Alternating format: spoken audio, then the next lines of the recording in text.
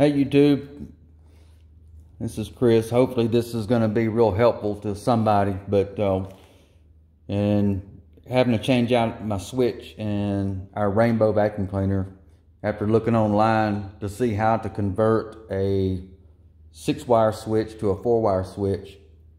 There was one, there was no videos on that, even through all the, the rainbow repairs very little information online other than somebody saying it doesn't matter which wire goes to where, black to black, all that crap.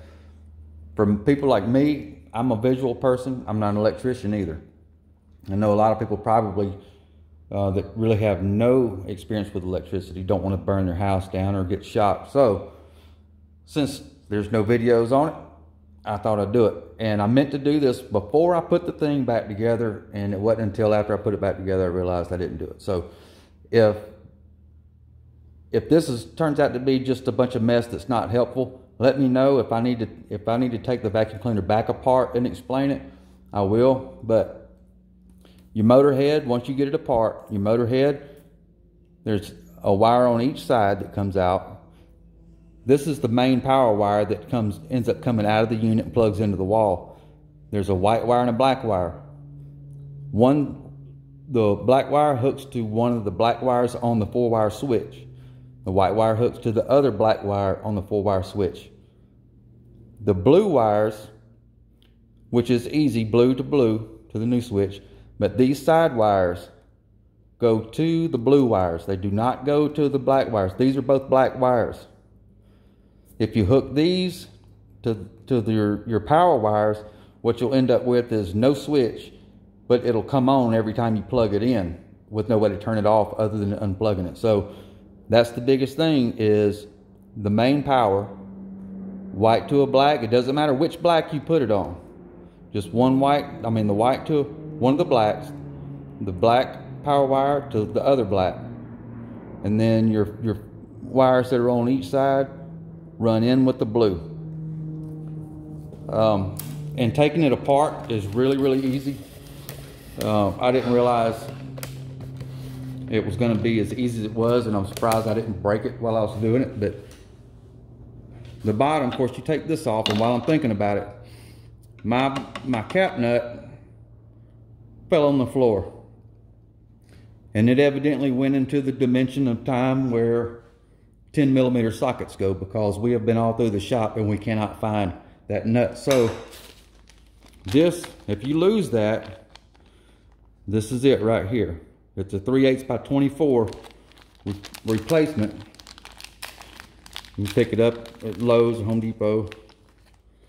But it will. All you're to do is hand tighten that anyway. So if you don't feel like ordering another nut, that's fine. But what I did is I took the, the nut that's on here, when you go to take this thing apart, you do not have to take that nut off. I have it off because I needed to use that as a pattern to go by for getting a replacement nut. So that nut right there is a 3 8 by 24 thread count. But you got four screws here. This, this piece, just a dish, it comes out. And then underneath that, there's four more screws. When you pull those screws out, the whole thing comes apart and everything's easy to get to. But one thing to make sure you do, the switch is it's siliconed in. So you have to pry on it and it feels like you're gonna break something. While you're breaking is the silicone seal. You can pull, pull that switch out and cut the wire or pull the wires out of the switch because most of them are just a pull, a pull lock.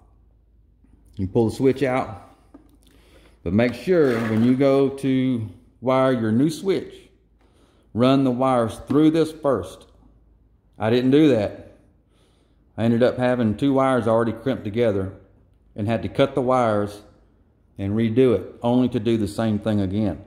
So now I have, uh, I think three cuts in my in two of my wires. So be sure that you run the wires through this hole first and then wire it up. So, and anyway, there wasn't anything on YouTube, so I figured I would I would throw something on for everybody.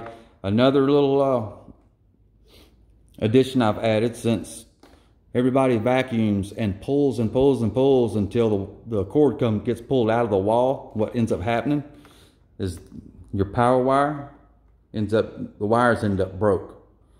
So what I did is I I took some uh, wire crimps, I crimped them all back together, good connection there, and then I taped it to get a real solid collar, folded the wire, taped it up even more, and then made it hopefully wife and daughter proof.